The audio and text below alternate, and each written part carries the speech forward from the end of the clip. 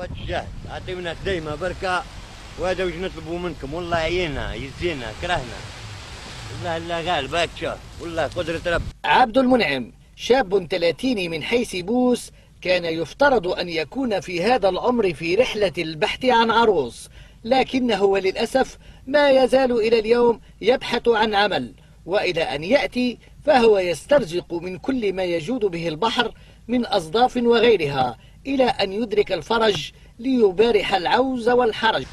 إيه هاك تشوف يا أخويا ضيقت بينا الدنيا هاك تشوف نخدموا بالحلال نلموا l'haricot ساعة كل خطرة كيفاش نديروا إحنا المهم لا داروا فينا مزية يشوفوا لنا خدمة كاش بلايصة ملاحة. الصدفة هي المحرك لدى كل من يمتهن البحر فأحيانا يأتي الاسترزاق بصرف النظر عن العمل الشاق. هذا الإنسان أنا ما نكذبش عليك لقيته هو وولده قاعد يلم في الكوكياج.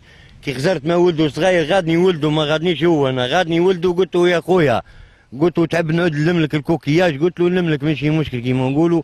دا في نعاونك لوجه ربي وش كتب ربي؟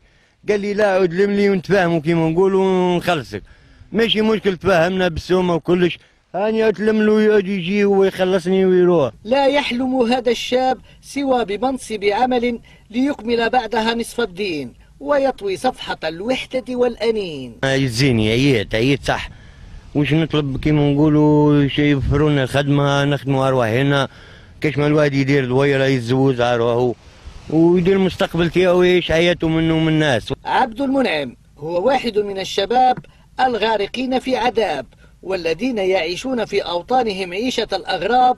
والسؤال الذي يبحث عن جواب هو إلى متى سيستمر الضباب ومن يخرج هؤلاء من دائرة الاكتئاب.